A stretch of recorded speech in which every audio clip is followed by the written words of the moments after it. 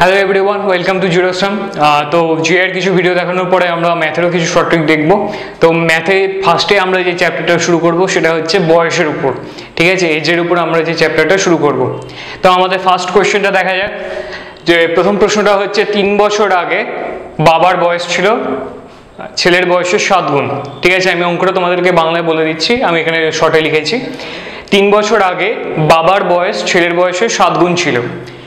বর্তমানে বাবার বয়স, ছেলের বয়সে পাঁচ গুণ। তাহলে বর্তমানে বাবা আর ছেলের বয়স কত? তো এটা আমাদের প্রশ্নটা চেয়েছে। তো এটাকে আমরা অবশ্যই এক্স ধরে করব না। এক্স ধরে তো সবাই পারবে। তো আমরা এখানে ট্রিক ইউজ করব।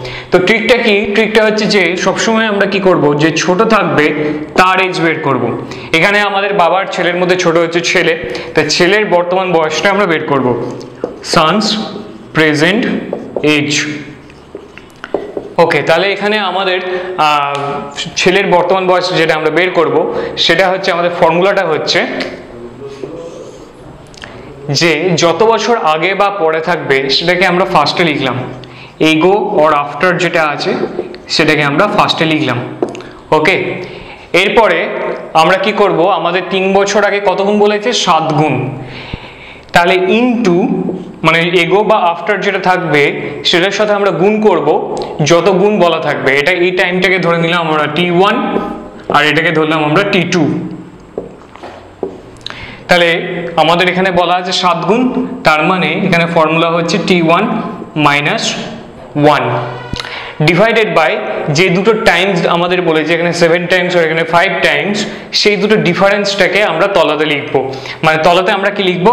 T one minus T two বড় থেকে ছোটটাকে আমরা বিয়োগ করব। ঠিক আছে, তাহলে আমাদের টোটাল ফর্মুলাটা কি হচ্ছে? যত বছর আগে বা পরে থাকবে, সেটাকে আমরা ফার্স্টে লিখব। ওই অত বছর আগে বা পরে যত গুণ বলবে, সেটাকে, সেখান থেকে আমরা এক মাইনাস করব। ডিভাইডেড বাই এখানে আমাদের সাত গুণ আর এখানে পাঁচ গুণ, এই যে দুটো টাইম আমাদের বলেছে, সেটাকে আমরা তলায় ডিফারেন্সটা লিখব। তাহলে আমাদের ফর্মুলাটাকে যদি আমরা অ্যাপ্লাই করি, আমাদের কি দাঁড়াচ্ছে? এখানে কত বছর আগে বলেছে? তিন বছর আগে। এগোয়া আফটারটাকে আমরা ফার্স্টে লিখলাম। গুণিতক আমাদের তিন বছর আগে কত গুণ বলা ছিল? সাত গুণ বলা ছিল। তাহলে কি করব আমরা? সেভেন মাইনাস ওয়ান করব।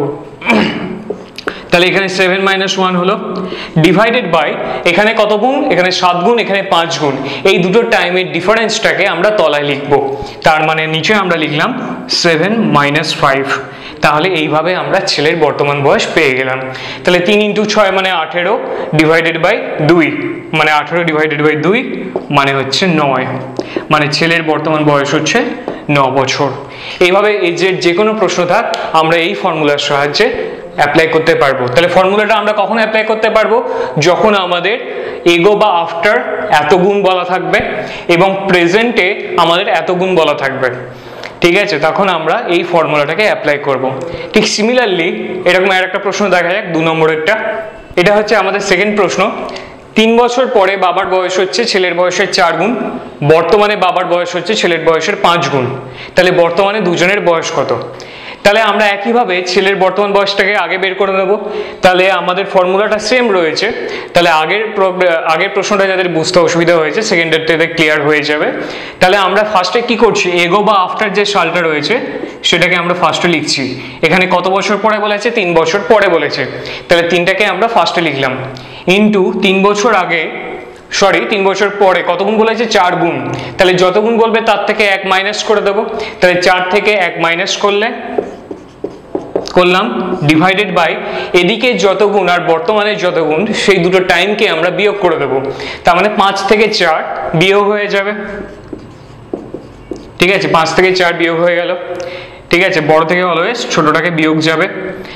তাহলে এখানে আমাদের কত হয়ে গেল? তাহলে এখানে আমাদের হলো তিন ইন্টু তিন ডিভাইডেড বাই এক। মানে এখানেও আমাদের ছেলের বয়স বের হলো ন বছর। ছেলেটা বের করলে আমরা বাবাটাকে ইজিলি বের করে নিতে পারব বর্তমান বয়সের ভিত্তিতে।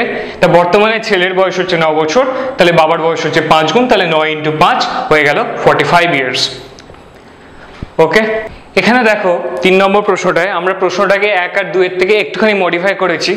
এক নম্বর প্রশ্নে আমাদের ছিল যে বাবার বয়স আগে এত ছিল, বর্তমানে এত গুণ, তাহলে তখন আমাদের দুজনের বর্তমান বয়স কি হবে? সেকেন্ড প্রশ্নটা আমাদের ছিল যে, তিন বছর পরে এত গুণ এবং বর্তমানে এত গুণ, তাহলে আমাদের দুজনের বয়স কত হবে? কিন্তু এই প্রশ্নটার ক্ষেত্রে আমাদের বলেছে, তিন বছর আগে এত গুণ এবং তিন বছর পরে এত গুণ। অর্থাৎ প্রেজেন্ট যে বয়সটা, সেটা কিন্তু আমাদের দেওয়া নেই। তাহলে সেখানে ওই ফর্মুলাটাকে আমরা সামান্য একটু মডিফাই করব। আমাদের ফর্মুলাটা আগের মতোই হবে। আমাদের এখানে কি বলা ছিল? আগের বার তিন বছর আগে সাত গুণ আমরা কি করেছিলাম? ওপরে three into seven minus one তাহলে এখানেও আমরা তাই করলাম করলাম three into seven minus one আচ্ছা এখানে তিন বছর পরে চার গুণ, তাহলে কি হবে?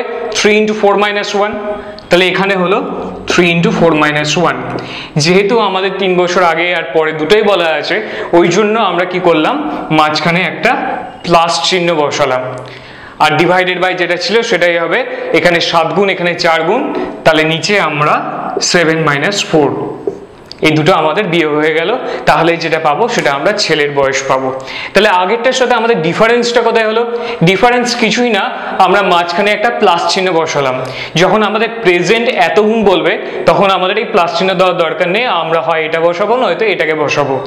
কিন্তু যখন আমাদের প্রেজেন্ট বলা নেই, তিন বছর আগে এত, তিন বছর পরে এত, তখন আমরা মাঝখানে, আগে আর পরে দুটোই যদি বলা থাকে, আমরা মাঝখানে একটা জাস্ট প্লাস চিহ্ন বসিয়ে দেবো। তাহলে ক্যালকুলেট করে দেখা যায় কত হচ্ছে। তিন ইন্টু ছয় প্লাস তিন ইন্টু তিন ডিভাইডেড বাই তিন। ছয় তিনে আঠেরো আঠেরো সাতাশ ডিভাইডেড বাই তিন। মানে হচ্ছে ন বছর। তাহলে এখানেও ছেলের বয়স পাচ্ছি আমরা ন বছর। সুতরাং প্রশ্নগুলো আমি অনেকটা সিমিলার রেখেছি যাতে তোমাদের বুঝতে সুবিধা হয়। তাহলে এক, দুই, তিন অনেকটা একই রকমের, তাই না? তাহলে এবার আমরা যাব চার নম্বর প্রশ্নে। দেখো, চার নম্বর প্রশ্নে আমাদের কি বলেছে? আমাদের প্রশ্নটা বলেছে যে এক বছর আগে সমীর আর অশোকের বয়সের অনুপাত ছিল ফোর ইস টু থ্রি এক বছর পরে তাদের বয়সের অনুপাত হবে ফাইভ ইস টু ফোর তাহলে বর্তমানে সমীর আর অশোকের বয়স কত? দেখো, এই প্রশ্নটা আমরা কি করব? যে এখানে যে ডিফারেন্সটা আছে সেটা আমাদের চেক করতে হবে। এখানে আছে ফোর ইস টু থ্রি আর এখানে ফাইভ ইস টু ফোর আচ্ছা চার থেকে পাঁচের ডিফারেন্সটা কত হচ্ছে? এক বেড়ে যাচ্ছে। তিন থেকে চারের ডিফারেন্সটা কত বাড়ছে? এখানেও এক বাড়ছে তাহলে যখন আমাদের এখানে যে ডিফারেন্সটা সেটা যদি সিমিলার হয়, তাহলেই আমরা এই ফর্মুলাটা অ্যাপ্লাই করতে পারব। এখানে যদি এক বাড়তো, এখানে যদি দুই বাড়তো, তাহলে কিন্তু আমরা এই ফর্মুলাটা ইউজ করতে পারতাম না। তাহলে তোমাদের সবার আগে দেখতে হবে যে অনুপাত দুটো রয়েছে, সেই অনুপাত দুটোর মধ্যে ডিফারেন্স আমাদের সেম আছে কিনা। যদি সেম থাকে, যেমন এক্ষেত্রে রয়েছে, সেখানে আমরা এই দুটো ইয়ারের মধ্যে ক্যালকুলেট করব। এক বছর আগে আর এক বছর পরে এই টাইমের ডিফারেন্সটা কতটা হচ্ছে? এটা বোঝানোর জন্য আমি বলি যে এই সালটা হচ্ছে দু হাজার আঠেরো। আগের সালটা কত ছিল? দু হাজার সতেরো, এটা এক বছর আগে। আর পরের সালটা হচ্ছে দু হাজার উনিশ, এটা এক বছর পরে। তাহলে দু হাজার সতেরো থেকে যদি আমি দু হাজার উনিশে যাই, তাহলে আমাকে কটা বছর যোগ করতে হচ্ছে দুটো বছর। তার মানে এখানে এক বছর আগে আর এক বছর পরে এই কথাটার অর্থ মানে হচ্ছে দু বছর। টু ইয়ার্স আচ্ছা এখানে দু বছর যখন আমাদের বেরোলো, এখানে আমাদের ডিফারেন্স কতটা হয়েছিল? এক, তাই না? তাহলে আমি এটাকে এইভাবে এক্সপ্রেস করতে পারি যে ওয়ান ইউনিট মানে এই যে ডিফারেন্সটা ওয়ান ইউনিট ইকুয়াল টু এদিকের বছরটাকে আমরা হিসাব করতে পারি। তার মানে ওয়ান ইউনিট ইকুয়াল টু দু বছর। এক ইউনিট মানে হচ্ছে দু বছর। তাহলে সেখান থেকে আমরা সমীরের এখানে এজ কত ছিল? ফোর এক বছর আগে। তাহলে ফোর ইউনিট ওখানে ফোর ইস টু থ্রি মানে এটা চার ইউনিট এটা তিন ইউনিট তাহলে এক ইউনিট মানে যদি দু বছর হয়, তাহলে চার ইউনিট মানে কত হবে? দুই ইন্টু চার মানে আট বছর। আর থ্রি ইউনিট মানে হচ্ছে দুই ইন্টু তিন মানে ছ বছর। তাহলে এটা চার ইউনিটটা আমরা সমীরের ক্ষেত্রে বের করলাম, আর তিন ইউনিটটা অশোকের ক্ষেত্রে বের করলাম।